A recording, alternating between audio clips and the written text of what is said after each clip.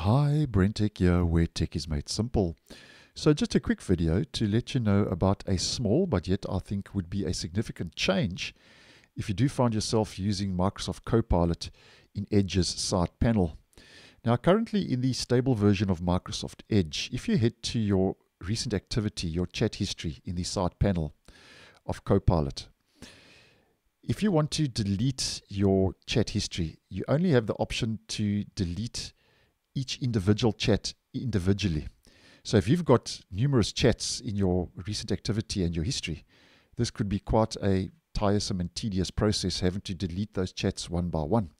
Now, this is where these small changes coming in because now if we head up to this new three dotted menu in our recent activity, you can now delete your entire chat history um, with one click instead of having to go to each individual chat and do that individually.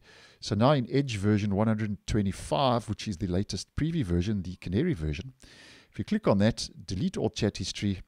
Are you sure you want to delete all chats? You get the little warning, you go delete, and then that should remove your chats. Now I am noticing that it's not removing my chats in Edge Canary 125 and I think that's because um, we are dealing with Edge Canary. It's unstable and it's very early days, and this feature has just rolled out. But nonetheless, this gives us a good indication as more or less what to expect. Delete all chat history. And I don't see a reason why this would not roll out to the stable version. Obviously, there's a little bit of work to do on this, but I think if and when this does make it to stable, being able to delete um, all your chats with one click, I think would be a nice move in the right direction, especially if you do find yourself using Microsoft Copilot uh, in Edge's side panel on a regular basis. So thanks for watching, and I'll see you in the next one.